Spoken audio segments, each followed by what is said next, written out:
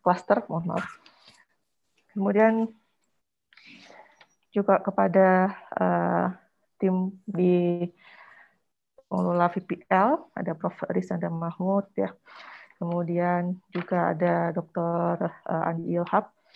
Ya, terima kasih atas kehadirannya, juga pada Dr. Dr. Hermina Sukmaning Tias, spesialis radiologi konsultan, wakil dekan 1 Fakultas Kedokteran Undip, dan uh, moderator kita hari ini, uh, eh, Dr. Ferdi Kurniawan Cayami, MSc PhD. Uh, terima kasih juga pada para peserta. Uh, kita mulai acara VPL hari ini. Untuk uh, pertama kita akan mendengarkan sambutan dari uh, Prof. Dr. Dr. Dwi Pujonarko, uh, MK Spesialis Saraf Konsultan, Bapak Dekan Fakultas Kedokteran Undip, uh, mohon berkenan Prof. Onang untuk memberikan uh, kata pengantar. Dan selanjutnya uh, mungkin dari dapat Dr. Yudi Muji atau Dr. Adi Ilham kan juga memberi pengantar. Prof. Onang, kami persilakan, Prof. Oke, terima kasih, Dr. Nani. Assalamualaikum warahmatullahi wabarakatuh.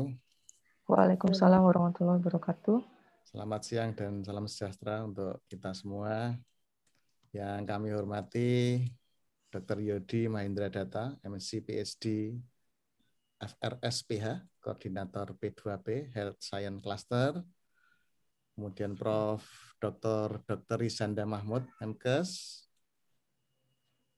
kemudian Dr. Andi Ilham dari MRPTNI, dan narasumber kita, pembicara kita, Dr. Bramas Tanugraha, Ibu WD1, segenap dosen dan mahasiswa S2, S3, serta seluruh hadirin yang hadir di meeting room ini. Puji syukur kita panjatkan kehadirat Allah SWT, Tuhan yang Maha Kuasa, atas segala rahmat dan karunia-Nya yang diberikan kepada kita semua, sehingga Alhamdulillah pada siang hari yang cerah ini kita dapat hadir dalam keadaan sehat walafiat secara online dalam virtual public lecture dengan judul Advanced Cell Culture in Pharmaceutical Industry Research yang merupakan kerjasama MRPTNI dan Diaspora Indonesia. Hadirin sekalian, dalam rangka mewujudkan visi sebagai fakultas riset yang unggul di bidang kedokteran dan kesehatan, FK Undip memang mempunyai misi untuk menyelenggarakan penelitian-penelitian di bidang kedokteran dan kesehatan yang berkualitas, tentu saja agar dapat dipublikasikan di jurnal ilmiah nasional dan internasional bereputasi atau menghasilkan hak kekayaan intelektual. Untuk mendapatkan penelitian yang berkualitas, maka perlu dilakukan pengembangan kapasitas di lingkungan sivitas akademika Fakultas Kedokteran. Salah satu upaya yang dapat dilakukan di antaranya adalah acara ini, kita menyelenggarakan kuliah eh, tamu, eh, Advanced Cell Culture in Pharmaceutical Industry Research, dan acara ini merupakan eh, virtual public lecture program P2P eh, dari dosen tamu yang merupakan kerja bersama MRPTNI dan Diaspora. Dengan acara ini, eh, maka bukan saja mahasiswa, tetapi juga diharapkan eh, staf pengajar, para dosen dapat menjadi apa, meningkatkan pengetahuan dan keilmuannya semakin meningkat, terutama di bidang kultur sel ini ya, melalui kerjasama pertukaran informasi uh, dengan program-program ini. Pada kesempatan ini saya mengucapkan terima kasih pada narasumber uh, Dr. Brahmastya Nugraha, Associate Principal Scientist in Vitro Imaging Specialist at Cardiovascular Renal Metabolism Department AstraZeneca Sweden. Tentu saja yang telah sepenuh hati akan membagikan pengalamannya juga terima kasih kepada panitia serta tim IT yang telah bekerja keras mempersiapkan jalannya acara virtual public lecture ini.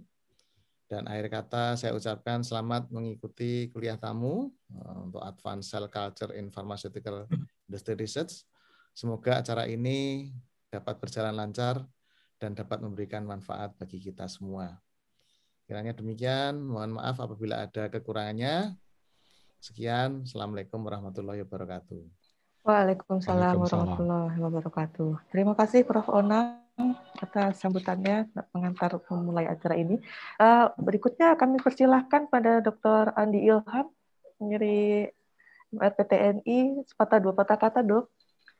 Mau persilahkan. Baik, uh, terima kasih. Assalamualaikum warahmatullahi wabarakatuh. Waalaikumsalam. Waalaikumsalam. Terima kasih Bu Nani. Uh, yang saya hormati Pak Dekan Fakultas Kedokteran Undip, Bapak Profesor Dwi Pujanarko. Yang saya hormati Bapak Dr. Yodi Mahendra Data, Prof. Rizanda Mahmud. Uh, ini adalah partner kami setiap bulan menyelenggarakan VPL berkeliling di seluruh perguruan tinggi negeri yang ada di bawah Majelis Rektor Perguruan Tinggi Negeri Indonesia. Bapak Ibu sekalian, eh, saya menyampaikan salam hangat dari Ketua Majelis Rektor Perguruan Tinggi Indonesia, Profesor Dr. Eh, Jamal Wiwoho, yang juga Rektor Universitas Negeri eh, Universitas 11 Maret.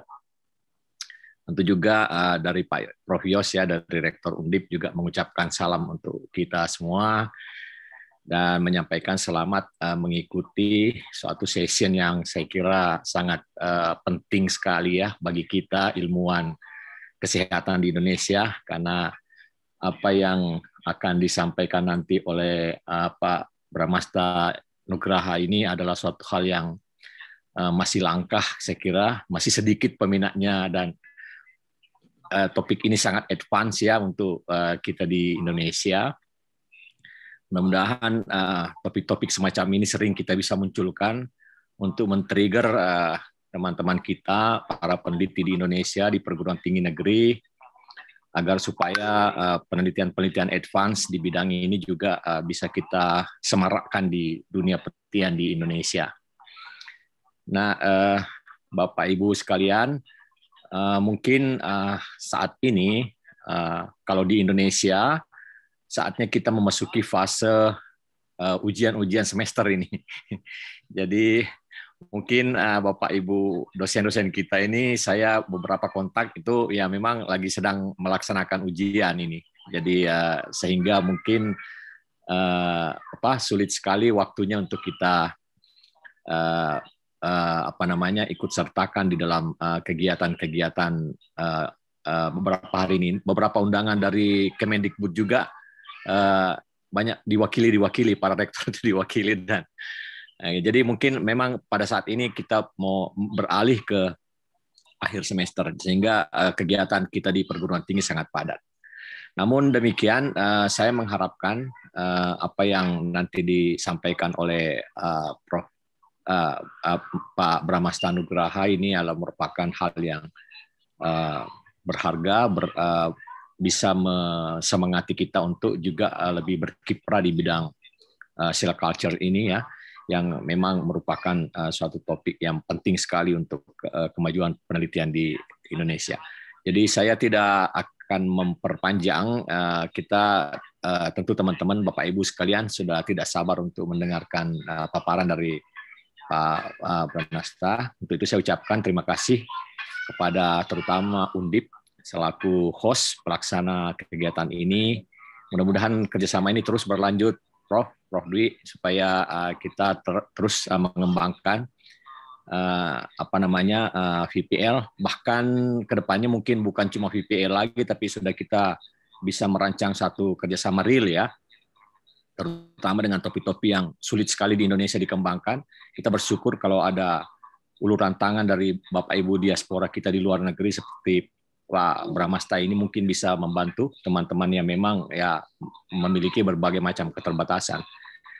Saya kira itu aja uh, sambutan ke, dari kami. Majelis Rektor Perguruan Tinggi Negeri Indonesia terus mensupport uh, kegiatan penelitian di berbagai bidang untuk pengembangan kualitas uh, penelitian di uh, perguruan tinggi kita di Indonesia. Saya kira demikian, uh, Bu Nani. Wabillahi taufiq wal hidayah. Assalamualaikum warahmatullahi wabarakatuh. Waalaikumsalam warahmatullahi wabarakatuh. Terima kasih Dr. Andi Ilham Mahmud. Uh, baik, Bapak dan Ibu sekalian, selanjutnya kami persilahkan untuk take over uh, moderator. Kami persilahkan Dr. Ferdi Kurniawan Cayami, MSI PhD, untuk uh, take over acara dan uh, selanjutnya persilahkan pembicara. Terima kasih. Monggo Dr. Ferdi. Ya. terima kasih uh, Dr. Nani. Uh, kita uh, hari ini akan menghadapi topik yang cukup menarik, uh, apalagi dalam bidang kesehatan. Nah, di mana salah satunya kita akan selalu melihat obat-obatan sebagai bagian dari pengobatan. Nah, selama kita tahunya obat yang sudah sampai di depan pasien yang bisa kita berikan. Nah, prosesnya itu panjang. Nah, salah satunya akan dibahas ini dari uh, Pak Bramasya ini adalah tahap awal, di mana early drug discovery, apa saja yang bisa kita lakukan. Um, dari mulai yang metode-metode sederhana dan salah satu yang akan dijelaskan oleh uh, Pak Pramasta Nugraha ini adalah advance uh, di mana tujuannya adalah supaya obat-obatan yang kita yang di, diciptakan dari awal itu memiliki persentase yang lebih banyak atau lebih baik dan sesuai dengan uh, pasien uh, dengan pasien yang uh, dengan penyakit-penyakit pasien yang akan kita berikan. Nah, siapakah beliau ini sehingga kok memberikan topik ini? Nah, kalau kita lihat dari CV-nya, uh, beliau Eh, sudah memperoleh gelarnya di Bachelor Engineering pada Material Science uh, pada tahun 2007 dan kemudian melanjutkan dengan PhD di Bioengineering tahun 2012 uh, di NTU dan kemudian di NUS untuk S3-nya dan beliau menempuh perjalanan panjang sebagai uh, postdoctoral di di Zurich, kemudian juga di Swiss, di Amerika, kemudian juga di Rhodes. Dan terakhir sekarang beliau adalah Eh, project leader dan spesialis eh, di AstraZeneca. Mungkin kita semua tahu AstraZeneca sekarang terkenal karena vaksinnya, eh, tapi ternyata ada banyak obat-obat lain yang di mana prosesnya ini panjang. Nah, salah satunya di bidang di kardiovaskuler, renal, dan metabolic disease. Nah, di sini beliau akan menyampaikan mengenai advance dari in vitro imaging yang khususnya di mana itu tahap awal sebelum obat-obatan itu masuk ke dalam fase klinis. Uh, untuk itu saya persilahkan uh, kepada Bapak Bramasta Nugraha PhD eh, dan beliau akan menyampaikan dalam bahasa Indonesia. Aslinya juga masih cinta Indonesia mungkin dengan bahasanya juga. Jika nanti ada pertanyaan, silahkan bisa dicantumkan di chat, bisa saya rangkum dan di akhir dari pembicara, pembicara nanti kita akan berdiskusi juga seandainya masih ada waktu. Uh, silahkan kepada Bapak Bramasta Nugraha, uh, waktunya 45 menit nih.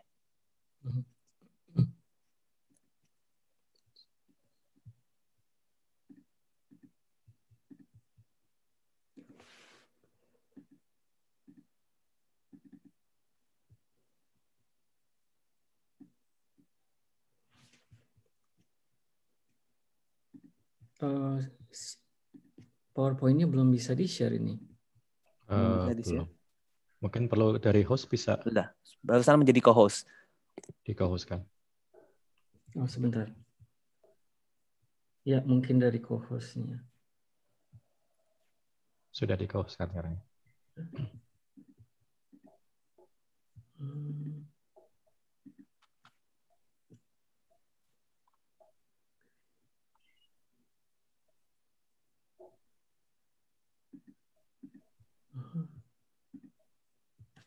Oke, sebentar. Yuk.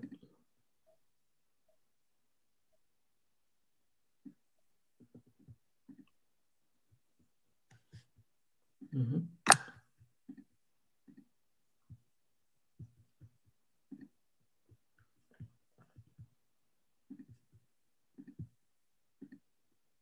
Iya.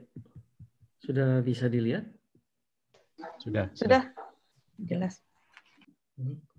Uh, selamat ya. sore, selamat siang, uh, Prof. Uh, Bapak dan Ibu dokter, juga Bapak dekan.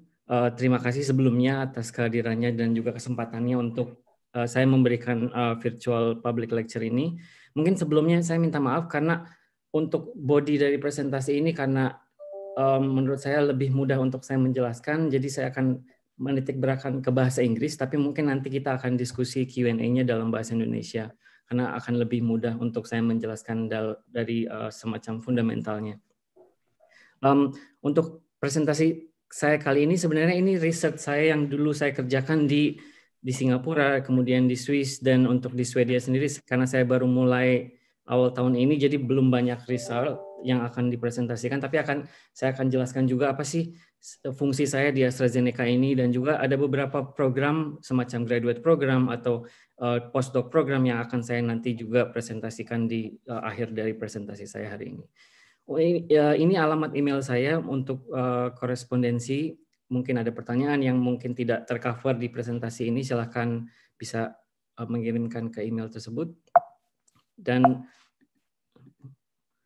mungkin sebagai um, introduksi ya, pendahuluan apa sih sebenarnya AstraZeneca itu uh, kami sebenarnya dari global company uh, dan juga ada ada banyak sites di dunia ini di di mana sebenarnya untuk R&D itu kami fokusnya di Gothenburg di Swedia juga di Gaithersburg di Washington, di Washington DC dekat Washington DC dan juga di Cambridge di UK dan di mana uh, Gothenburg itu sendiri Gothenburg itu sebenarnya bukan kota besar hanya setengah juta uh, penduduk.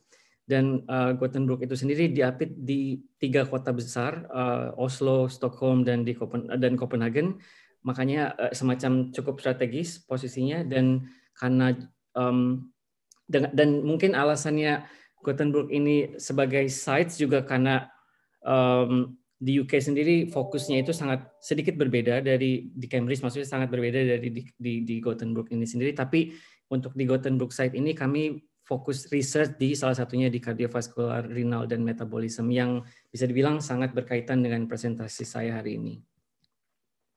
So uh, for today's presentation, I'm going to actually present uh, what are actually cell culture that are getting more advanced now that we are actually working in the pharmaceutical industry, for example, in the 3D kind of cell culture world. And some, some examples that I'm going to touch today are basically the beginning from the um, physiological kind of liver functions that I developed before in Singapore, and then the kidney fibrosis model pathophysiologically uh, developed at Roche, and also at ETH Zurich in Basel. And then the last one, maybe it's more related to most of the studies now at AstraZeneca is I, I, I, I was actually developing also um, cardiac uh, kind of organoids that are beating, that are actually very useful to do, to do uh, drug screening. And a little bit of my work at the University of Zurich before I left Switzerland that are actually still ongoing for now is the gut pathogen disease modeling for toxoplasma uh, disease. Uh, if we look at back in 2007, when I actually just started my PhD in Singapore uh, at the National University of Singapore, if we look at the comparison between 2D and 3D, actually the cells are totally in different dimension. For example, both epithelial and mesenchymal cells, when they were on just 2D cell culture flash, they're actually just flat. They don't like it so much because the cell culture, uh, it's rather very stiff most of the cases and one side cells are actually facing the medium and the other side is facing the, the, the this kind of stiff surface, which are basically very non-physiological. But when we culture this, these two type of cells in, for example, in 3D hydrogel, they behave totally different. For example, in epithelial cells, they could form this kind of balls with hollow structures like luminous structures, or for example, mesenchymal cells, for in example, is um, most of the um, benign or malignant cancer cell line, they can even um, kind of transverse and migrate freely in these three dimensions, which are not repre represented in the 2D cell culture models.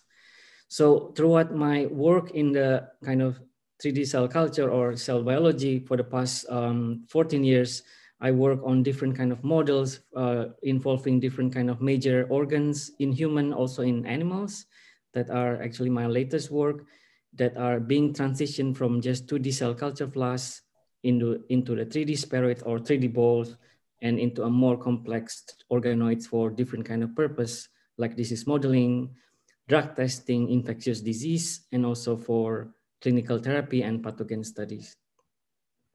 So looking at just in 2015, when there was uh, this kind of uh, review papers in uh, Nature Review Drug Discovery, in, the reason why in most of the pharmaceutical industry, we, we encounter a lot of problems in the clinical phase trials of drugs is because there's um, totally different readouts of drug efficacy or uh, kemanjuran obatnya dan juga safety, drug safety, because when we transition from 3D cell culture into animal models or even to human preclinical trials, we have a lot of kind of irrelevant in readouts because of the readings, because maybe the cell culture are not representative enough. And the most important is only 13.8% of these tested drugs demonstrating ultimate clinical success.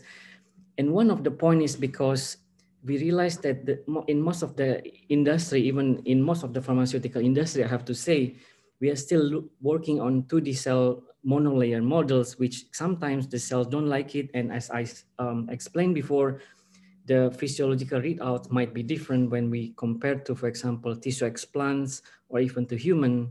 And that's the reason 3D cell culture is trying to bridge these two types of poles that we try to incorporate more complex model or even more uh, one more than one cell type to be cultured. If we look at the cells, the cells are also like human. They are not um, antisocial. They, they like to be surrounded by neighboring cells or even ECM and also shear flow or even presentation of other cellular niche, which we have to incorporate in order that we have the right response or more physiological kind of response in comparison to the 2D cell culture model.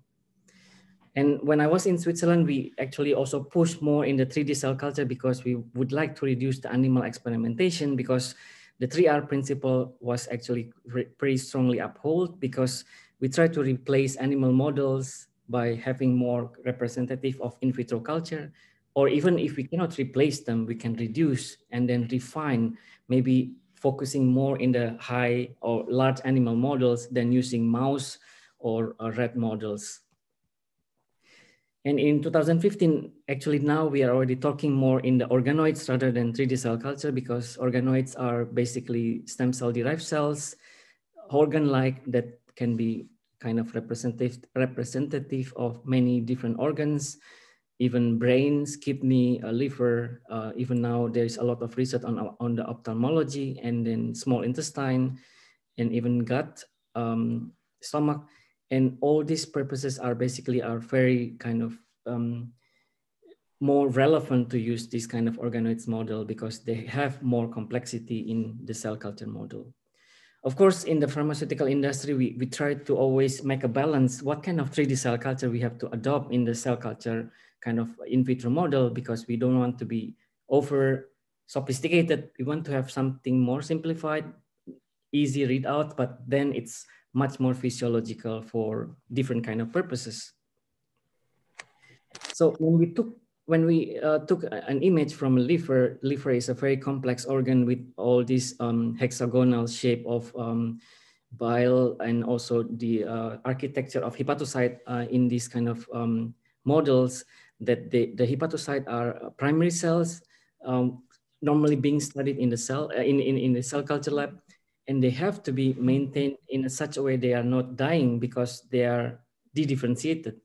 So my very kind of preliminary work as a young scientist in Singapore in 2010 was actually try to kind of venture from material science into 3D cell culture model of using scaffold to culture different kind of um, hepatocyte, for example, primary red hepatocyte, to confirm that the cells are happy in this kind of three-dimensional kind of uh, fashion that they are not like in the monolayer that they are stretched but they are happy as a ball.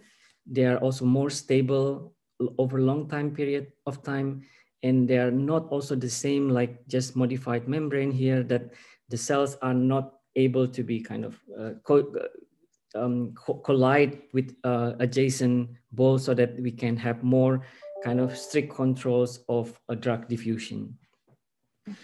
And I also characterize uh, this kind of um, formations of um, uh, these spheroids, uh, which are actually just only about seven hours to form this kind of ball.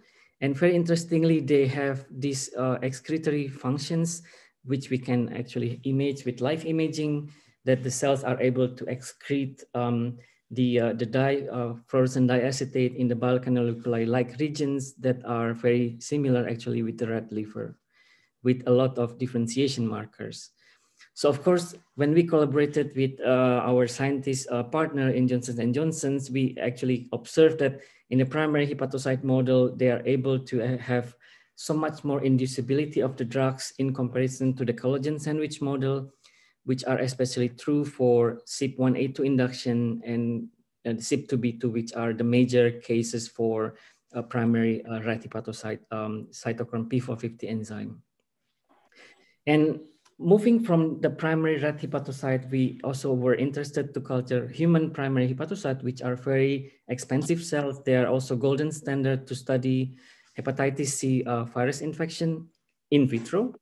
So when we culture the cells in different kind of platform, we realize that in the spirit model, they are so much more um, mature in terms of differentiation markers like the basolateral and also apical domain in this case.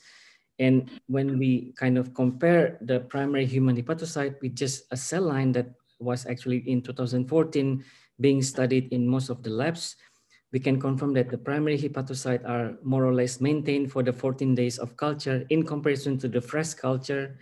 And they have the ability to be infected with these pseudoparticles of uh, human hepatitis C virus so that the, the, the hepatocyte actually can be infected in these 3D cell culture models. Plus, they can be also um, abrogated with just by inhibiting with the antibodies in the dose uh, response manner. And interestingly, when we move on to the real uh, virus with the HCV clone, um, we can actually have the infections and then they can be also um, growing like this um, hepatocyte spherate over time so that the, the, the, virus actually is happy to infect this uh, uh, hepatocyte model.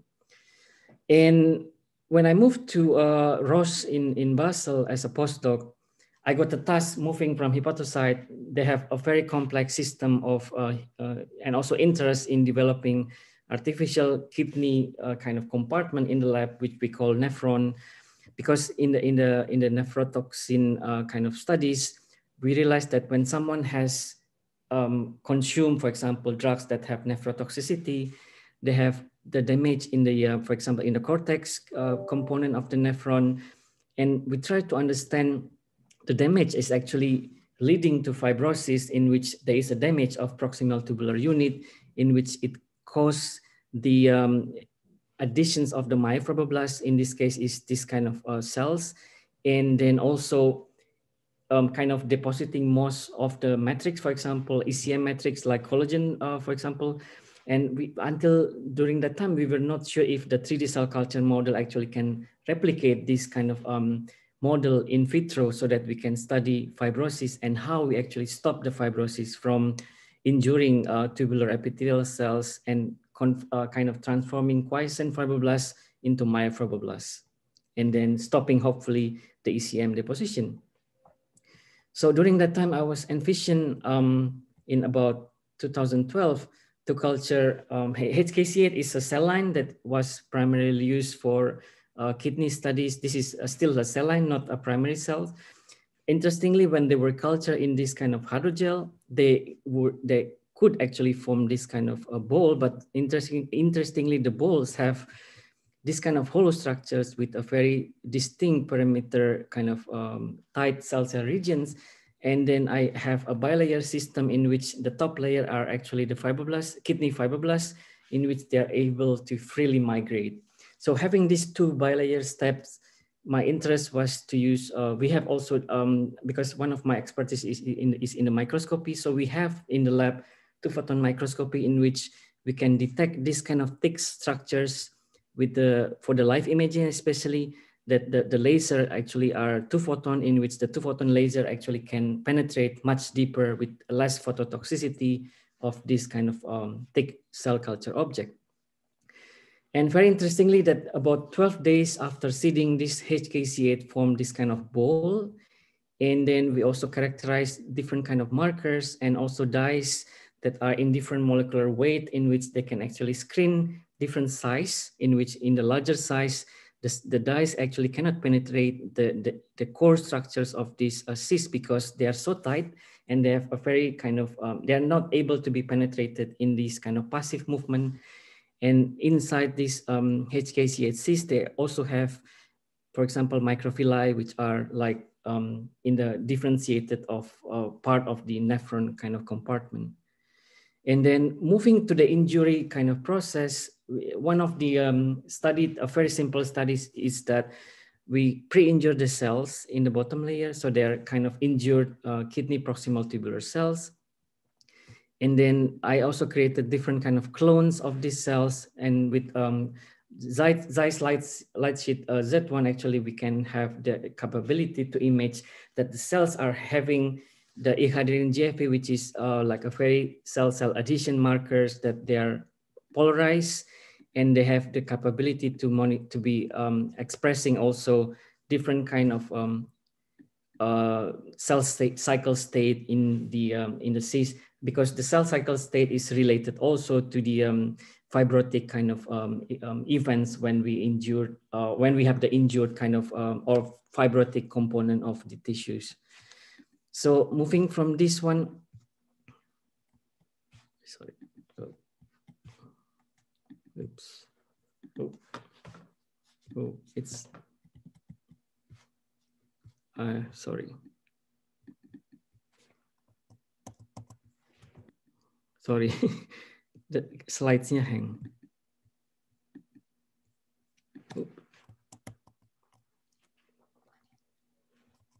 Oops.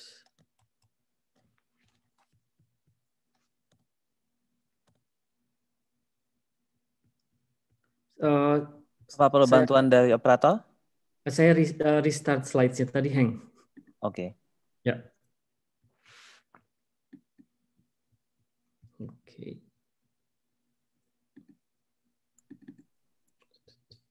Sebentar ya.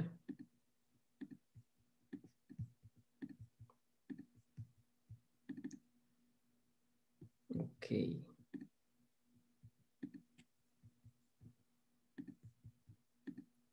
Ya.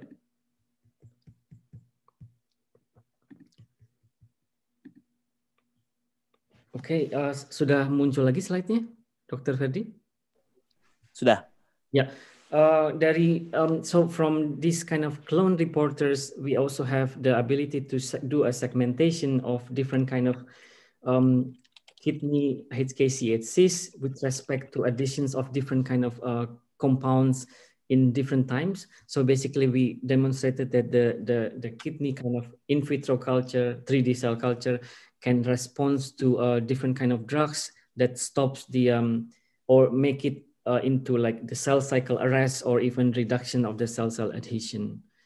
So from this one, we demonstrated as well that when we have the pre-injured bottom layer of the kidney uh, HKCHCs, and then we put the uh, kidney uh, uh, fibroblast on the top layer, they can be actually converted from the quiescent into my, uh, myofibroblast, and then we can also ab abrogate the progression having the administration of the pirfenidone.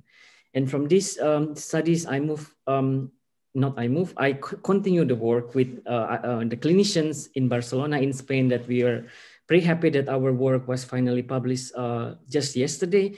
Because from this HKCH model, the clinicians, they have already the, the, the, the target, which is called ADAM17, which is known as um, pathological uh, kind of um, markers for diabetes, for example. And the idea was, can we use the model, the HKC8 model, having the ADAM17 deleted by genomic editing, and we prove it. Um, we have already proven the work in vivo using uh, animal models that by having the knockout model, by deleting ADAM17 by genomic editing, we can actually protect the kidney from getting fibrosis in the diabetic microenvironment and then we actually use the same concept in the in the 3D cell culture model by having HKCH6 but deleted ADAM17 and then induce high glucose. We can actually protect the kidney from fibrosis. This is this is actually a very interesting concept because in the end, the 3D cell culture model actually can use as a validation tool of the clinical findings and also in vivo findings that we can even explore more than one type of targets of different kind of biomarkers. So my last presentation actually was mainly done in Zurich at the University of Zurich, also with clinician, with cardiac surgeons.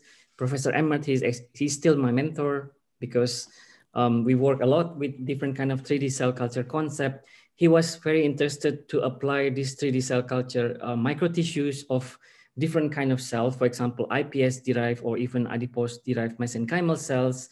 And then also with um, uh, having this 3D microtissue, he actually has experience by injecting this in the large animal models because in the lab, he, he was able to use the NOGA mapping guided in which he is able to map what is the most uh, damaged left ventricular regions in the heart that after myocardial infarction um, kind of events. But of course, my work in 2018 was more in the in vitro model because I'm a very in vitro kind of cell biologist. Can I use the same concept to model in vitro disease? For example, um, having the stem cell iPS kind of derived cells are already established by Professor Yamanaka from 2012. So I work with different kind of iPS from healthy patients and from hypertrophic cardiomyopathy patients and derive them into the cardiomyocyte lineage by having the small molecules differentiation protocol after 15 days. Uh, this is actually the work from my previous master student, Michele, who is now at Utrecht Medical University doing his PhD. And we, we try to understand if, let's say, just the, just the iPS derived into cardiomyocyte, can they actually have the capability of having these arrhythmia models? And of course they do, but then we, we extended our work in after having this confirmation, we extended our work um, in more detailed analysis of the cell culture model, just a monolayer. Indeed, that this is the hypertrophic cardiomyopathy cardiomyocyte derived from IPS patients uh, having HCM.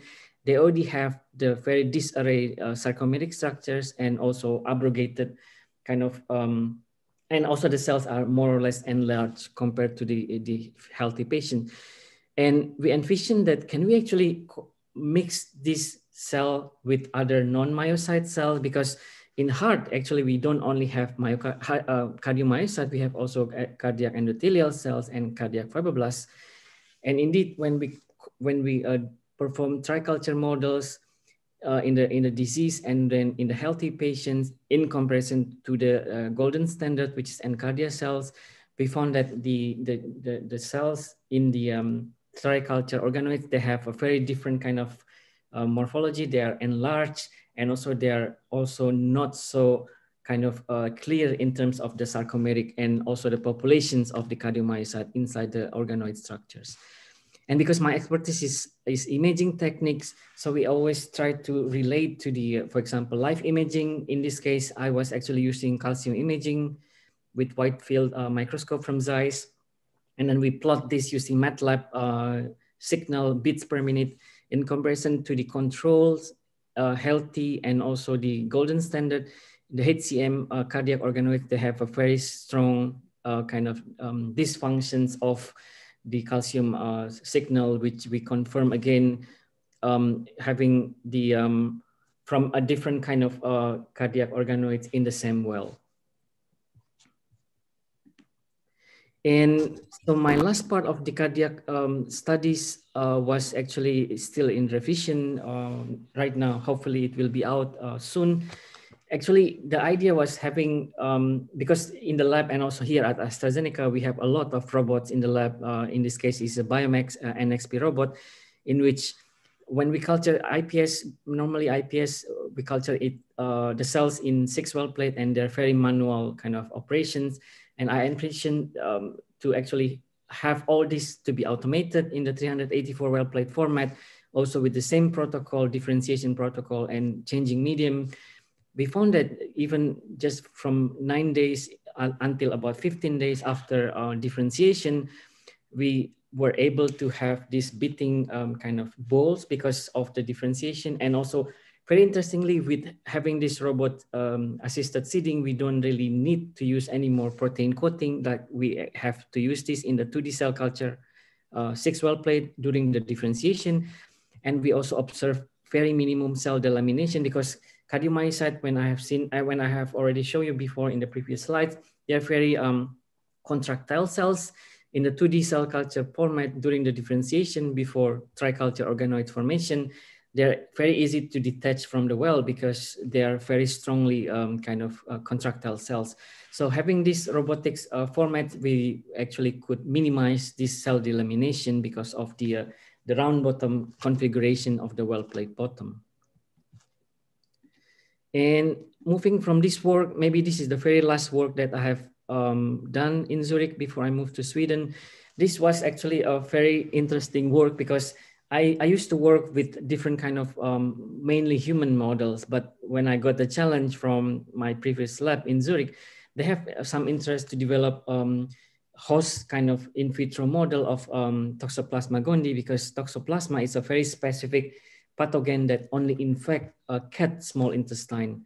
And having these 3D cell culture models, uh, moving from the one that I have already worked in the lab with um, primary mouse um, small intestine and moving to the cat, actually it's very tricky to culture cat uh, small intestine in the lab because cat has even so much more complexity compared to human in, uh, in terms of uh, growth factors and cellular niche. And moving from these kind of studies in the lab, now we were able to create this kind of bubbles, like a very huge bubble of cat small intestine organoids that now we are actually working under a Swiss National Foundation Spark grant that was granted under my name to actually culture these um, small cat intestine organoids as in vitro toxoplasma gondii sexual state that hopefully we can screen candidate of vaccines that stops transfecting um, and kind of sexual stage um, uh, proliferation of this toxoplasma gondii parasite from infecting human in the future. So let's see some of the interesting results for the next couple of years, but now we are actually still ongoing doing the project in Zurich. So uh, before I end my presentation, of course, there's a lot of 3D cell culture model. Maybe you will be a bit more confused since I have already worked for so many different projects. But the, the, the, the, the red line of having these 3D cell, 3D cell culture models, of course, their advantages and disadvantages depends on what kind of applications. We have to be always pragmatic and careful in choosing what kind of applications, because having this kind of complex model also, um, they have they have kind of more cost uh, factors and also uh, sometimes the imaging is so much more challenging in comparison to this 2D cell culture model. We have to be always careful in determining which one that we have to adopt in the lab. And maybe um, also would like to introduce what are my current research focus at now as AstraZeneca in the CVRM uh, department, cardiovascular, renal, and metabolism disease. I'm actually working now in the high content and high throughput confocal imaging to screen compounds using different kind of cellular models, depend on what kind of project I am supporting different kind of project across uh, Sweden, UK, and, and also US. So the idea is having um, so much more kind of uh, high throughput format. We can have the uh, cell culture model in the lab, and then we can have a different kind of complexity and treat with different kind of compounds before going to the, let's say, lead compounds and then my my my interest is to do a high content imaging uh, analysis of different kind of cellular feature extraction from different kind of image using machine learning and also artificial artificial intelligence. Hopefully we can understand a lot of cellular features from different kind of cellular models with respect to what kind of compounds being studied. And then hopefully we can minimize and de-risk a lot of compounds that are maybe not so good having um, the uh, cellular response. And then hopefully to reduce the cost of the drug discovery itself for the next maybe 10 or 15 years. And before I end my presentation, of course, I would like to introduce what kind of research opportunities at AstraZeneca that we are actually offering. I hopefully will recruit uh, students for next year. I am interested to recruit students for graduate program. We have actually graduate program for both eight months project rotations or uh, PhD program that are always open for collaboration with uh, academic partners. I'm happy to be a mentor. Uh, normally, the students that we recruited at AstraZeneca normally are very good students. And in, in addition to this, we have also a postdoc program at AstraZeneca, uh, normally for two to three years, that I hopefully can also propose projects in the next few years to, um, to guide postdoc uh, fellowship. And I'm very happy to actually receive more Indonesian applicants because we don't really have a lot of Indonesian people at AstraZeneca, but I believe we have a lot of Indonesian talents that are able to immerse in our kind of very strong scientific kind of uh, research environment. And there are different kind of research area that we are actually working at different three major sites of AstraZeneca in US, UK, and in Sweden. I am mainly involved in the cardiovascular and gastrointestinal or renal metabolism disease but of course, there are also other research area and in which in this, for example, cardiovascular and metabolic disease, there are also different kind of core areas of interest. I'm more interested in physiology or cell biology. And of course, with the um, uh, high content imaging that are supported by a lot of high content, um, high throughput confocal microscopy that we have in the lab. So I would like to conclude that there are a lot of advanced cell culture models, of course, in, in the world that already have uh, revolutionized many aspects in biomedical research. And in addition to this cell culture, we have to get a very robust technique, for example, advanced cell imaging or imaging modality to understand live imaging uh, events. And having this all integrated, hopefully in the future, we can address various research questions in the drug discovery. So with this, I would like also to thank all my collaborators, uh, beginning from I was being a PhD student, and then also as a postdoc in Switzerland, and both in Basel and in Zurich, also my collaborator in Barcelona that we are actually working a lot with kidney models and hopefully also bridging to the clinical kind of settings.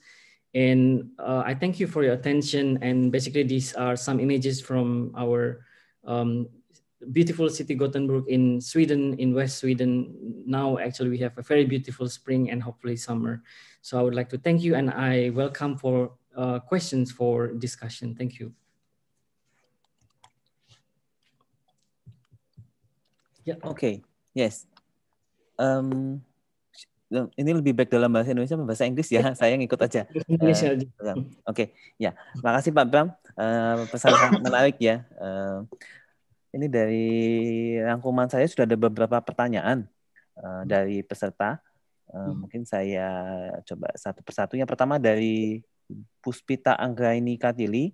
Uh, jadi beliau menyebutkan bahwa dia pengalaman uh, S3-nya itu di. Menggunakan high uh, iya. IPSCs uh, hmm. kolaborasi antara Leiden dengan Hamburg. Nah, di sana ditemukan bahwa engineer tissue atau EHT, EHT itu memberikan prediksi hasil lebih akurat untuk positif inotropik dibandingkan dengan platform monolayer dua dimensi. Hmm. Apakah ini sudah siap digunakan untuk kegiatan industri ya untuk keperluan drug screening atau kalau belum yang perlu dipersiapkan apa sepanjang pengalaman Pak Bram? Uh, sejujurnya untuk drug screening mungkin masih terlalu big step. Uh, karena karena saya juga pernah mengerjakan engineered heart tissue ini juga salah satu uh, interestnya. Dan juga di AstraZeneca ada beberapa riset yang menggunakan model ini. Untuk screening mungkin masih ada semacam big gap karena pertama uh, saya pernah memproduksi si EHT ini dengan um, mechanical electron electrostimulation exercise bisa dibilang prosesnya juga cukup lama untuk memproduksi mature tissue dan sampai sekarang sendiri menurut saya IPS derived cardiomyocyte ini masih belum ada titik terang uh, untuk time intervalnya apa dan uh, external faktornya apa yang harus di-induce untuk mendapatkan mature uh, tissue. Jadi sampai sekarang untuk uh, drug screening mungkin dari pengalaman pribadi saya di AstraZeneca masih uh, terbatas. Jadi memang masih dalam tahap 2D bahkan semi 2D bahkan simple simplified 2D mungkin spheroids model karena untuk engineer heart tissue ini masih terlalu kompleks dal dalam uh, arah produksi juga dalam time time frame dan juga dari maturation masih banyak hal yang perlu dieksplor lagi untuk maturation ini sendiri. Hmm. Kalau mungkin dalam 5-10 tahun ke depan kita belum tahu ya, Agam ya. ya. Dengan teknologi yang sekarang makin berkembang. Hmm. Ya. Eh, semoga itu menjawab dari Bu Puspita. Uh, pertanyaan berikutnya nih saya nggak tahu nih mungkin uh, kalau dari dokter dari Pak Bram ada kenalan di Indonesia ada yang bertanya di manakah kami bisa melakukan penelitian berbahan dasar jaringan plasenta tali pusat atau air ketuban ini dari dokter Besari Adi Pramono. Ingat saya saya pernah diskusi dengan beberapa saintis di FKUI dan mereka interested juga untuk uh, mesenchymal stem cell mungkin atau dari umbilical cord untuk uh, ekstraksi dan juga untuk uh, sel kultur karena kan ini juga masih cukup relevan untuk konteks di Indonesia untuk mesenchymal stem cell. Jadi mungkin bisa didiskusikan dengan beberapa saintis. Nggak membutuhkan mungkin, banyak ini juga ya Pak Bram ya.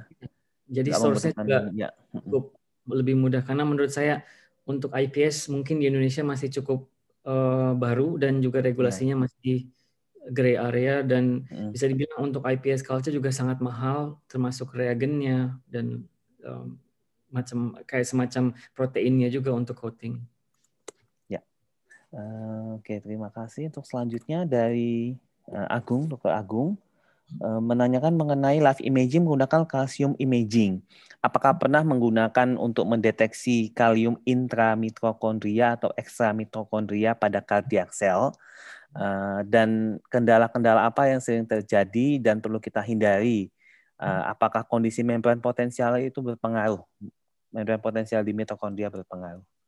Uh, saya rasa berpengaruh, cuman fokus yang saya pernah uh, kerjakan memang calcium imaging di um, lebih dibilang ke whole cell, jadi lebih ke arah um, ke ke spheroidnya itu sendiri, bukan ke single cells atau ke ke organelnya. Jadi terus terang untuk live imaging untuk organel masih cukup uh, sulit. Saya juga mengerjakan uh, itu di di organel mitokondria dan me memang banyak challenge-nya jadi untuk sekarang mungkin masih belum terlalu robust, terlalu um, istilahnya established karena memang untuk spheroidnya sendiri kalau misalkan kita uh, kultur cardiac spheroid spheroidnya ini sendiri sudah beating di di di, di istilahnya di whole uh, spheroid tapi dan untuk melihat di organelnya ini akan lebih challenging karena untuk ke arah yang skala lebih kecil di di istilahnya di dalam selnya di organel itu akan lebih challenging kecuali kalau untuk imaging di single cell dan ini bisa dibilang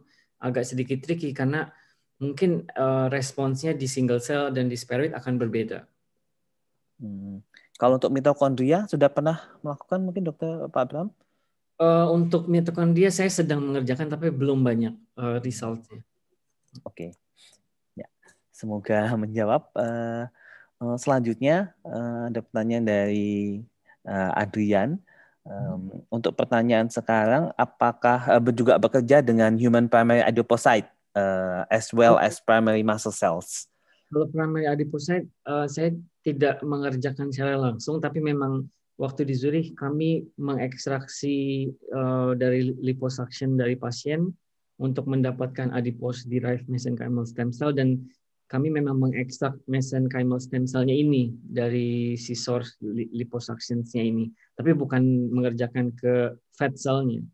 Kalau untuk primary muscle cell, kalau untuk human bisa dibilang tidak tidak hampir tidak oh, mungkin. Tidak mungkin. Cell. Jadi saya waktu pernah training di di University of Bern untuk uh, patch clamp karena untuk patch clamp lebih gampang ke menggunakan primary muscle cell dan kami menggunakan dari mouse primary uh, cardiomyocyte. Uh, memang bentuknya agak sedikit berbeda, dia lebih semacam longitudinal, tapi cukup challenging karena patch clamp sendiri uh, cukup sensitif dan sisalnya ini cukup sensitif. Jadi banyak challenge-nya untuk mengerjakan uh, bahkan untuk kalsium um, action potential si patch clamp untuk primary muscle cells ini. Hmm. Mungkin ini lebih tepatnya ke, ke primary cardiomyocyte karena muscle cells dari Masal saya belum pernah. Hmm, ya.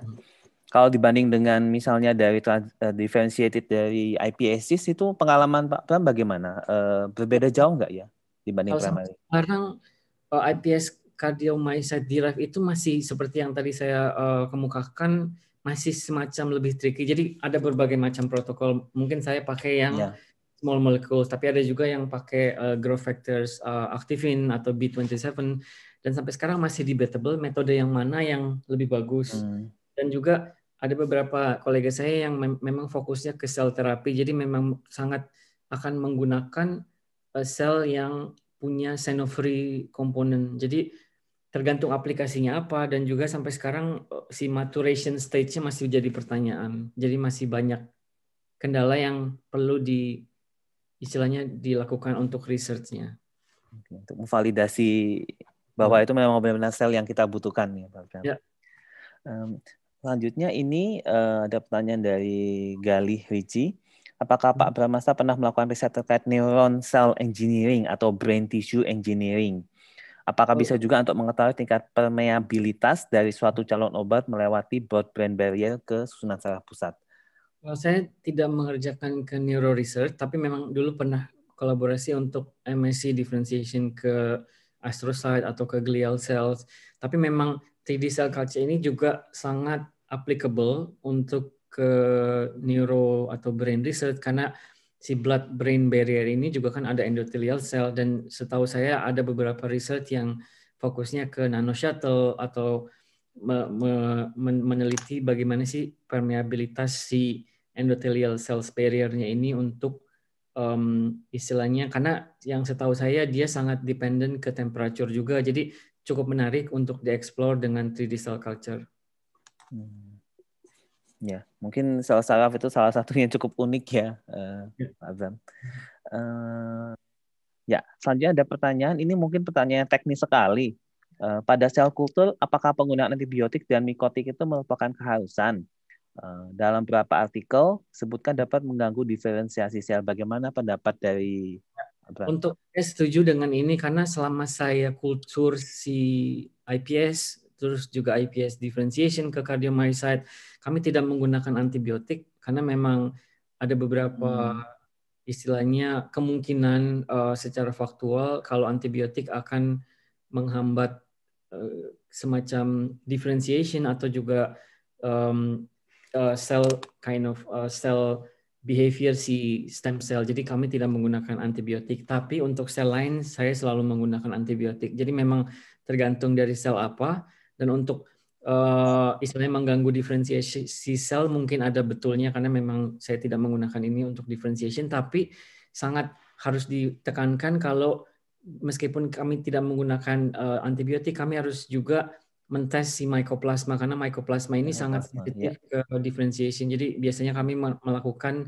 periodic mycoplasma test untuk uh, eh, PCR misalkan. Hmm. Dan sangat tergantung operator juga ya, Mbak Brami. Hmm, ya. Uh, kalau nggak hati-hati ya bisa aja malah membawa infeksi ke kulturnya ya.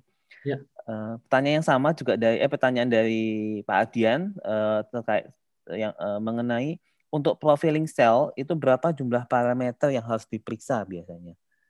Parameter apa ya? Saya kurang jelas. Untuk profiling sel, jadi untuk menentukan apakah sel ini uh, yang yang kita butuhkan misalnya dengan hmm. mungkin uh, marker atau apa? Ah oke, okay. uh, kami biasanya uh, salah satunya ya dengan uh, RT-PCR, uh, gene expression monitoring juga dengan fax. Biasanya kami um, menganalisa apa si selnya ini punya marker spesifik mungkin setelah diferensiasi atau sebelum. Jadi kami mengkontrol uh, mungkin ke polypotent marker dari Fox, di Fox-nya itu cell sorter. Mungkin ada beberapa kayak semacam nanok atau SOX2, KLF4, MIG dan juga untuk si cardiomyocyte misalkan ke TNN2. Jadi tergantung selnya apa juga. Jadi biasanya kami harus mengkonfirm dari beberapa genes uh, dari RT-PCR dan juga mark, surface marker di Fox cell analysis. Jadi mungkin kombinasi ya Pak Bram, ya. tidak hanya hmm. dari ekspresi tertentu dari lebih dari satu marker, tapi juga mungkin termasuk salah satunya mikroskopi itu ya hmm. untuk Lain melihat imagingnya. Hmm. Oke, okay. uh, eh, sementara sih dari yang ini, uh, oh ada satu ini, ini pertanyaan yang mungkin eh, cita-cita ke masa depan dari pengalaman riset Bapak sejauh ini, riset mana yang paling menjanjikan untuk dikembangkan ke tahap produksi industri obat ke kalayak umum? Uh, mungkin yang sangat menjanjikan kalau menurut um, opini saya sendiri yang ke halayak umum itu adalah mungkin untuk konteks Indonesia mungkin ke arah penyakit yang banyak di negara berkembang contohnya contohnya toksoplasma. Jadi mudah-mudahan riset saya yang masih sekarang berjalan di Zurich akan ada impactnya ke depan karena kita kami sangat uh, istilahnya positif untuk mengembangkan misalkan um, karena untuk dibandingkan dengan sel manusia si sel uh, kucing ini bisa dibilang lebih tidak sekompleks manusia dalam arti kata source-nya. Jadi kami punya source dari kedokteran hewan dan juga impactnya ini kan toksoplasma ini sangat banyak di negara berkembang betul. Ya. di Amerika Latin atau di Indonesia. Jadi mudah-mudahan kalau dengan metode 3D cell culture kami bisa me me men-screen kandidat vaksin untuk si tokso ini sangat applicable karena untuk riset saya yang, yang saya kerjakan di Sweden sendiri untuk um, misalkan ke arah kardiovaskular bisa dibilang itu jangkanya cukup panjang mungkin 15 tahun ke depan jadi hmm. efeknya akan uh, tidak secepat yang si toksoplasma itu. Yeah. Toxoplasma di Indonesia cukup uh, banyak dan pengalaman sekarang klinisnya sangat bervariasi. Jadi kadang-kadang punya banyak strain juga. Ya. Oke, okay. Uh, untuk pertanyaan berikutnya, um, ini apakah memungkinkan untuk mengembangkan um, karakteristik-karakteristik yang berbeda dari jaringan-jaringan di jantung uh, dari beberapa penyakit-penyakit jantung genetik uh, dan apakah memungkinkan itu dikembangkan untuk etnis-etnis yang berbeda sehingga ya. kan ya. Hmm. Jadi uh, mungkin untuk uh, hasil riset kami di 2020 ini kan fokusnya ke hypertrophic cardiac uh, cardiomyopathy. Jadi memang kami fokusnya hanya ke mutasi di MYH7 genes. MYH7 dan, ya. ya. Dan juga fokus kami ini adalah uh, mendapatkan dari IPS Bank di Inggris uh, yang hanya ke karena IPS Bank di Inggris ini mereka akan mendeklarasi um, rasnya. Jadi kami memang hanya fokus ke white uh, European hmm. Caucasian. Jadi mungkin sangat menarik sekali kalau misalkan ada studi yang rasnya berbeda karena mereka punya complete cell bank dan juga mutasinya yang berbeda karena uh, hypertrophic cardiomyopathy juga mutasinya berbeda-beda tidak hanya MYH7 jadi tergantung dari variansi mutasinya ini jadi sangat bisa dibilang sangat applicable sekali untuk dieksplorasi. Hmm. Dan apakah memungkinkan uh, untuk mencoba obat-obatan baru, misalnya untuk aritmogenicity-nya, jadi melihat aritmia. Bisa bisa juga. Jantung. Mungkin karena kami juga tahun 2020 sangat terbatas dengan uh, resource dari compounds, jadi ini sangat applicable sekali untuk uh, meneliti kalau misalkan uh, kita bisa mendevelop 3D cell culture yang applicable atau representatif dari sesuatu disease yang mungkin mutasinya berbeda dan juga mengadminister obat tertentu dan melihat uh, efeknya dari mungkin dari contractility-nya atau dari kalsium activity-nya. Oke. Okay. Ya, pertanyaan berikutnya dari Alfianti. Uh, sejauh mana aplikasi 3D kultur ini untuk riset di bidang kanker hati? Kalau secara uh, kanker, menurut saya jauh akan mungkin karena saya tidak bekerja di onkologi, tapi 3D cell culture ini sebenarnya awal mulanya itu dari dari cancer uh, studies hmm. secara general dari onkologi karena waktu itu uh, Profesor Mina Bissell yang mendevelop sebenarnya ide dari 3D cell culture beliau menganalisa dari memory gland cell culture jadi dari uh, kanker payudara dia meneliti bagaimana sih kalau malignan dan benign si memory um, cancer cell ini dikultur di 3D dan memang si cancer cell yang malignan ini akan sangat bisa dibilang migrasinya itu lebih uh, lebih uh, kuat lagi dibandingkan yang benign di 3D cell culture. Tapi kalau di 2D dia tidak terlihat perbedaannya. Jadi untuk onkologi ini bisa dibilang lebih general justru. Dan mungkin kalau di di uh, di browse di Google uh, 3D cell culture cancer akan sudah lebih established dibandingkan organ yang lain. Hmm. Sangat menarik ya karena apa lingkungan dari selnya tumbuh itu ternyata bisa mempengaruhi apakah dia menjadi yang ganas berkembang lebih baik atau tidak. Um, kemudian ada pertanyaan lagi, nah saya nggak tahu nih ya apakah mungkin Pak Abram punya pengalaman terkait dengan COVID-19. Dilaporkan genom virus SARS-CoV-2 itu bergabung dengan genom host. Mohon pencerahannya, saya nggak tahu nih. Mungkin Pak Abram saya terus terang saya tidak bisa komen tentang yeah. COVID-19 ya dan juga saya tidak ada background untuk yeah. field ini. Okay.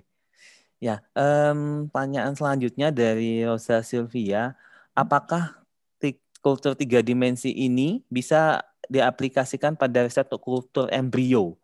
Oh pasti. Sebenarnya dulu sebelum saya dapat uh, posisi di AstraZeneca, saya juga ada beberapa diskusi, diskusi dengan uh, beberapa profesor juga di Leiden University karena memang um, di Leiden sendiri di, di di Belanda ada interest untuk mungkin sudah dikerjakan sekarang untuk ke embryo uh, model human embryo model dengan microfluidic atau dengan 3D cell culture tapi memang interestnya karena kalau di Europe sendiri embrio ini semacam sangat tricky yeah. asalkan tidak divertilize Betul. Bisa dikerjakan. Jadi salah satu interestnya saya lupa nama profesornya. Uh, memang sudah ada riset ke arah embrio. Jadi mungkin lebih ke arah interest ke um, disease yang mungkin uh, di embryonic stage. Jadi untuk uh, istilahnya menggunakan 3D cell culture untuk miniaturize dari embrio ini. Terkait pada diferensiasi awal kehidupan mungkin ya. Gitu. ya, ya. Uh, Ya, ini ada satu lagi dari Bu Puspita lagi. Uh, untuk high content imaging dan analisis, apakah ada rekomendasi selain Opereta? Karena harganya sangat mahal dan di Indonesia belum ada. Uh, ini sangat tricky juga karena um, terus terang saya pakai Yokogawa, jadi Yokogawa memang cukup lebih mahal justru dari Opereta. Untuk high content imaging mungkin agak sedikit tricky dalam arti uh, cost karena confocal imaging itu yang high throughput, high content pasti akan mahal karena beda hmm. karena robot high speednya itu. Jadi memang kalau untuk suggestion mungkin belum ada yang lebih murah dari Opereta setahu saya. Jadi mungkin lebih mudahnya ya dengan live confocal imaging mungkin pakai Leica atau Zeiss system tapi lebih ke arah tidak high throughput jadi lebih ke arah mungkin point based scanning jadi dia akan men-scan point tertentu atau well placed base karena dia lebih ke istilahnya less throughput ya. Kalau misalkan operator kan dia memang spesifik ke high content yang cukup deep imaging. Hmm. Oke, okay. uh, eh, ya uh, sementara mungkin pertanyaan dari saya, uh, Pak Bram, kalau dengan menggunakan high throughput ini bagaimana menghadapi variasinya ya? Karena saya pernah kultur dengan uh, membuat spheroid juga dari IPSC, uh, ASC. Nah, problemnya itu adalah variasi antar well bahkan dalam satu well itu ukuran eh, spiritnya bisa berbeda-beda. Nah kalau dengan menggunakan mesin kan kita targetnya sama. Nah itu bagaimana mengatasi itu? Mungkin uh, ini related ke seedingnya juga. Jadi kami berusaha untuk kalau untuk 384 uh, well, well plates, kita selalu tidak pakai manual untuk seeding karena head, manual handling juga kadang ada error. Yeah. Jadi kami pakai yang um, namanya liquid uh, drops jadi semacam um, hmm. 8 multi well play tapi dia uh, otomatis jadi lebih ke mesin dan ini bisa mengurangi dari well well well variation atau yang saya kerjakan dulu pakai Biomac dia sangat high throughput karena dia pakai langsung ke 384 well play tips jadi tipsnya semuanya langsung masuk hmm, ya. jadi sangat meminimalisasi uh, human error. Okay. Hmm.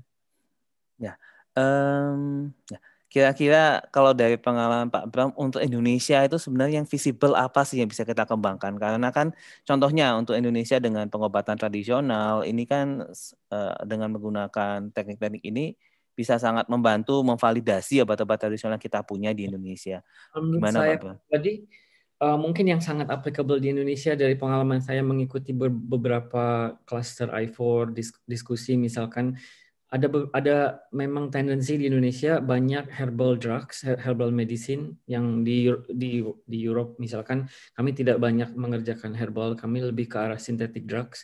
Jadi menurut saya sangat applicable sendiri apabila ada interest ke mungkin 3D cell culture untuk um, safety ke arah herbal drugs. Jadi lebih ke arah yang tidak 2D gitu. Jadi memang karena herbal drug kan masih dibilang um, kearifan Nusantara tapi belum banyak tereksplorasi atau belum Betul. banyak library-nya. Jadi mm-hmm. dengan digital culture mudah-mudahan mungkin kita bisa lebih mengerti ke aktif compounds-nya atau mungkin ke efek dari si herbal compounds-nya ini ke behavior ke sel di 3D. Mungkin di hepatocyte atau sel yang lain. Untuk Indonesia visibilitasnya gimana Pak Bram? Penghalamannya mungkin selama ini untuk 3D cell culture? Mungkin untuk digital kultur yang ke arah uh, high throughput mungkin masih berat, tapi 3D cell culture kan misalkan spheroid model ini sangat mudah sebenarnya untuk dikultur ke menggunakan hal yang bisa dibilang teknologi yang bisa dibilang primitif. Karena mm -hmm. di spheroid model ini kan bisa diproduksi de dengan hanging drop uh, yang istilahnya mendrop uh, liquid terus di flip. Ini yang paling mudahnya. Jadi mungkin ke arah massive production. Jadi bukan yang robots atau ke yang uh, mungkin 384 lebih ke arah yang si droplet base. Dan itu bisa dibilang cukup mudah untuk diproduksi dengan hal-hal yang uh, tersedia. Ya. Oke. Okay. Uh, eh, ini kita masih ada waktu 15 menit. Uh, mungkin kalau ada partisipan yang mau bertanya secara langsung boleh uh, raise hand atau uh, menyampaikan pendapatnya. Saya boleh bertanya, Dokter Ferdi? Silakan, Dokter Nani. Ya, menyambung uh, pertanyaan saya yang tadi, Pak Bram, terima kasih jawabannya yang tentang uh, ke, bisakah kita mendevelop different types of uh, cardiac tissue ya. Sebenarnya saya juga ada kepikiran per, uh, untuk melakukan hal tersebut uh, karena kan respon uh, apa dari drug safety itu toksisitas ke jantung itu jadi concern utama terutama obat-obat cancer yang baru ya. Nah, kalau dengan uh, untuk perbedaan etnis itu, kira-kira caranya seperti apa ya Pak Bram ya? Karena saya nggak kepikiran kalau kita periksa misalnya kalau periksa dari um, uh, apa ya istilahnya ya. Kalau sekedar periksa DNA mungkin ambil darah bisa, tapi kalau um, mendevelop dari etnis yang berbeda kita nggak tahu bedanya di mana ya di etnis itu kemudian bagaimana kita mendevelop uh, 3D cell culture dari kardiomyocyte itu saya belum kepikiran. Mungkin Pak Bram ada kalau untuk saya kurang tahu untuk regulasi etik di Indonesia, tapi kalau untuk ya. di YouTube sendiri biasanya kami me, me, me, istilahnya men, istilahnya me, me, menghasilkan resource untuk IPS dari biasanya kemungkinan besar dari darah, jadi dari uh, PBMC peripheral blood mononuclear cell. Jadi dari darah kemudian dipurifikasi ke PBMC dan si PBMC ini direprogram ke IPS. Jadi untuk reprogramming kit sudah banyak ah, yang iya, iya, iya, ya. Ya, uh, jadi mungkin ini yang lebih visibelnya. ya. ya jadi mendif, mendif, me, me, mempunyai semacam istilahnya mungkin pasien ini punya mutasi di gen uh. tertentu terus di derive IPS-nya uh. IPS-nya ke kardiomyocyte. Kardiomyocyte. Ah ya, ya, ya betul juga ya. Terima kasih pencerahannya. Hmm. Ya. Terima kasih Pak Bam. Oke, ya. Uh, silakan kalau mungkin ada peserta. Oh, silakan Bu Puspita Anggraini.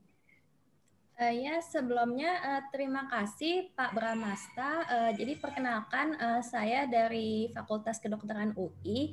Uh, ini kami uh, ada rencana untuk develop uh, sel punca pluripoten terinduksi asal dari pasien bayi dan anak di RSAB uh, untuk kardiomiopati. Nah, ini kan karena memang kendalanya kan fasilitas di Indonesia masih terbatas sangat terbatas sekali ya. Uh, nah, ini kami rencananya untuk penelitian awalnya memang uh, jadinya untuk uh, lebih kepada uh, analisis dari uh, struktural, contohnya tentang dengan pewarnaan dengan alfa aktinin dan kemudian untuk fungsionalnya karena memang terbatas jadinya kami uh, mungkin lebih ke ini ya lebih ke video kontraktilitas begitu. Ya. Namun ya. untuk keperluan publikasi uh, mengingat dengan publikasi internasional yang sudah memakai alat-alat yang canggih ini uh, apakah Pak Bramasta ada rekomendasi maksudnya uh, dengan ke kondisi keterbatasan ini uh, apa yang dapat kami lakukan supaya uh, setidaknya bisa publish uh, paling tidak jurnal Asia atau bagaimana gitu. Terima kasih. Jadi ini untuk uh, misalkan IPS dari pasien terus didiferensiasi ke cardiomyocyte.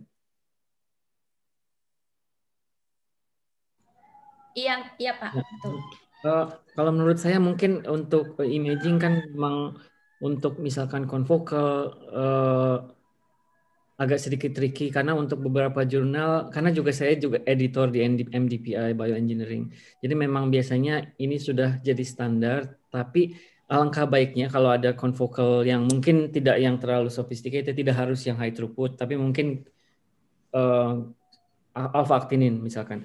Tapi mungkin yang bisa mensuplemen untuk uh, konten dari jurnalnya ini adalah respons ke drug treatment biasanya.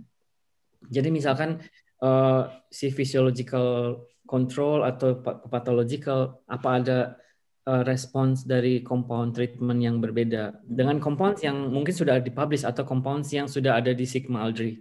Jadi mungkin ini bisa istilahnya membuat papernya lebih ke uh, high impact atau lebih kontennya jauh lebih menarik karena kan dari komunitas ke mungkin mungkin dari arah pharmaceutical industry akan terlihat kalau emang punya drug response? Ya, kami memang ada rencana untuk treatment dengan beta agonis dan beta blocker, Pak Pramasta. Ya. Tapi hmm. ya itu karena alat untuk uh, menangkap uh, kontaktilitasnya itu yang masih ah. kami perlu pikirkan. Ya. Oke, okay. ya Ya memang untuk untuk contractility memang perlu mikroskop yang bisa dibilang punya kapabilitas ke high frame rate per second. Jadi kalau bisa ada yang lebih dari 60 atau 100 uh, frame rate. Jadi ya untuk menganalisa. Tapi mungkin kalau misalkan ada pun harus punya kapabilitas untuk mengekstraksi datanya. Tapi biasanya ini diperlukan uh, mungkin data analisis atau ke MATLAB untuk video rendering atau video istilahnya plotting untuk ke patternnya itu. Ya. Ya baik, terima kasih banyak atas jawabannya Pak. Mungkin ide lainnya bisa kerjasama kali Bu uh, Puspita yeah. dengan universitas lain gitu yang memiliki fasilitas itu kan lumayan uh, yeah. di luar negeri terutama. Yeah. Karena keterbatasan di Indonesia. Oke, okay. uh, ya uh, sepertinya sudah tidak ada yang bertanya lagi. Uh, juga kita sudah menjawab uh, semua yang ada di chat. Mungkin uh, ini uh, apa namanya di akhir ini ada yang mau disampaikan nggak Pak Bram kira-kira dari diaspora untuk Indonesia, khususnya kok penelitian di Indonesia itu bagaimana yang bisa kita kembangkan gitu. Kita mengejar ketertinggalan lah sedikit dibanding negara-negara lain yang di luar. Mungkin bagaimana ya? Kalau publikasi ya sebenarnya untuk mendrive ke publikasi ini kalau menurut saya uh, itu dari semacam keterbiasaan. Jadi mungkin dengan biasa untuk membaca paper, menganalisa paper. Jadi kita akan terbiasa dengan jurnal yang kita baca. Dan kalau bisa saya sarankan baca jurnal yang sudah established atau jurnal yang minimum Q1. Karena untuk um, mungkin 3D Cell Culture atau bahkan untuk Europe uh, Heart Journal sudah banyak yang sangat tinggi, tapi dengan keterbiasaan kita baca jurnal yang high quality, kita akan terbiasa dengan idenya. Jadi yeah. akan terbiasa oh apa sih gapnya yang mungkin masih missing dan juga bisa dikorelasi dengan konteks di Indonesia yang oh mungkin ini sangat relevan untuk dieksplor begitu. Jadi ya eh, untuk menjadikan istilahnya produktif di sains menurut saya eh, membaca paper sudah harus jadi rutinitas. Ya, terima kasih Pak Bram. Uh, ya, uh, mungkin ya. Jadi bisa kita simpulkan sekelas bahwa sebenarnya uh, sel kultur itu ya sangat luas, mulai hmm. dari yang sederhana dan sampai yang ke high throughput seperti yang dijelaskan oleh Pak Bram dengan berbagai uh, kemajuannya. Namun bukan berarti bahwa kita juga tetap tidak bisa memanfaatkan dengan keterbatasan yang ada, khususnya di Indonesia. Dan hmm. masih banyak yang bisa kita kembangkan di Indonesia di sini. Tapi ya itu perlu membiasakan diri salah satunya dengan banyak membaca sehingga bisa muncul eh, ide-ide yang kadang-kadang tidak membutuhkan teknologi yang cukup canggih tapi itu sudah sangat menjual dan novel uh, untuk bisa dipublikasikan. Mm-hmm. Oke, okay. uh, terima kasih kepada Pak Bram. Uh, selanjutnya saya kembalikan kepada MC Dr. Nani. Silakan ya. Bu Nani. Terima kasih uh, Pak Ferdi, terima kasih Pak Bramasta Nugraha atas uh, presentasinya yang sangat menarik dan saya lihat cukup antusias ini para peserta ya ada banyak pertanyaan dan gayang sampai akhir acara. Terima kasih juga pada uh, semua peserta yang sudah aktif bergabung di sini uh, karena waktu yang juga sudah mendekati batas waktu mungkin kita akan segera uh, akhiri acara ini Sebelumnya mungkin kita uh, kenang-kenangan dulu bagi yang masih apa ada di sini uh, bagaimana kalau kita open cam sebentar untuk kita bisa screenshot bersama. Silahkan open cam.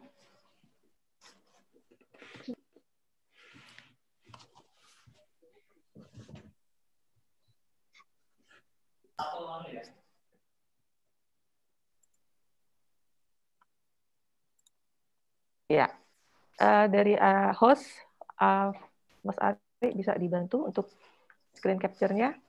Oh iya, mungkin Berapa bisa apa? untuk yang video bisa di on-kan dulu, nggih. Oke, kita mulai untuk yang slide pertama. Satu, enggak, enggak. Satu, dua, tiga. Oke, kita ulangi lagi satu, dua, tiga. Oke, matur suwun. Yang slide kedua, uh, mungkin bisa di on kan ya untuk videonya. Ya, ini masih banyak yang off untuk videonya ini. Gimana? Sudah ya? Oke. Kita mulai satu, dua, tiga. Oke, satu lagi. Satu, dua, tiga untuk slide ketiga. Satu, dua, tiga. Oke, satu lagi. Satu, dua, tiga. Baik, terima kasih sudah. Monggo ya. kembali ke Dokter Nani. Terima kasih, eh, Mas Ari. Uh, sekalian, Bapak dan Ibu sekalian, kami menginformasikan untuk acara virtual public lecture yang akan datang. Mungkin bisa di-share. Nah, ah, silahkan ditunggu. Ini untuk uh, yang akan datang, kita akan punya uh, dosen tamu narasumber Pak Beben Benjamin PhD dari University of South Australia uh, bila sudah confirm nanti akan di share ya jadi bisa ditunggu jadi nantikan nanti untuk next virtual public lecture uh, demikian terima kasih atas perhatian dan atens uh, partisipasinya pada acara kali ini kami ucapkan terima kasih pada uh, dari MRPTNI, kemudian dari Ikatan Ilmu Indonesia Internasional, dan juga dari KBRI Washington DC. Terima kasih pada koordinator untuk program P2P Health Science Cluster dan uh, terutama kami sangat appreciate pada uh, eh, Dr. Bramasta Nugraha. Terima kasih atas partisipasinya dalam acara ini. Demikian Bapak dan Ibu sekalian, kami akhiri untuk uh, eh, PVL hari ini. Terima kasih. Wassalamualaikum warahmatullahi wabarakatuh. Waalaikumsalam Waalaikumsalam Terima kasih Pak Bram, terima kasih Pak Ferdi, terima kasih Dr. Nani. Terima kasih Dokter Yodi, Dr. Yodi, Prof. Sanda. Ya, izin Terima kasih Pak Bram. Ya, terima kasih Selamat ya Pak Bram, terima kasih. Selamat yeah. buat FK Undip. Terima kasih semuanya. Yeah. Mohon maaf sekalinya ada yang kurang berkenan. Mana ya, Prof? Lancar. Lancar.